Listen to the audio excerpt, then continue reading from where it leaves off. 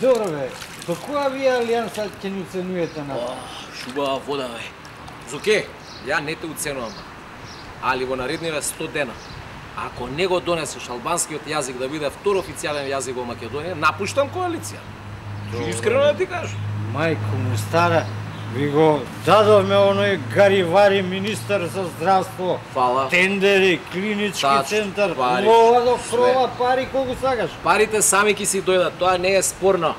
Ама види, втори јазик мора да го направиш албанскиот, јас сакам да земам градоначалници, двајца, тројца, петорица, само така можам да ги земам. Знаеш ли ти Изгледа? дека но, дека нон-стоп што не оценувате овие од ВМРО не викаат салотип? Абе што сакаат нека викаат од ВМ.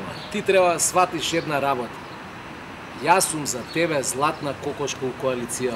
Ти си за мене златен петел, а нашава влада знаеш ли што е? Златен кокошарник, мајко ми се. Треба се искористи тоа, извини вак. Е, Тоа е. не ми се прави ти на мене фраер. Се знае тука кој е фраер. Јас сум фраер, бе. И тоа бриселски фраер. Ти бриселски фрат. Да, ја. Со струмички акцент. Е, го учам из Ој, не еш Добар бу- ден. Оне, оне. бугар? Ден. Господин Жбогар сака да ве праша нешто, ама да одговарате кратко и јасно. Повелете. Се бањате? Па не се бањаме, овој цело време ме уценува Не. и ме дави. Кажете му така на господин Жбогар. Не е тачно си правиме муабет. Фин уценувам. Значи, свр... рече господин Жбогар да се свртиш. Нема проблем, ево. Стоп, стоп.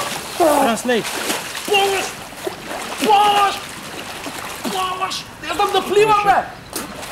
Помош! А, Помош! Дај рака, бе! Зуки! господинот Жбогар рече, ќе уценуваш ли уште? Нема да уценувам више! Дај рака!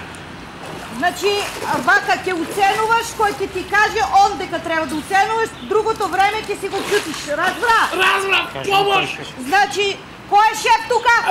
Бога! Господин! Можеш да го вадиш да вениш. Можеш да го вадиш, ајде.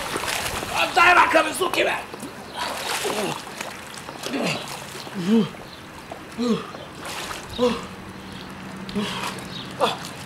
Абе, добра, бе.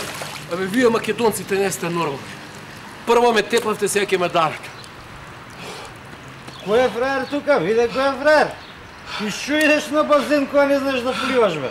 Имаш право, јас сум ти само за во планина.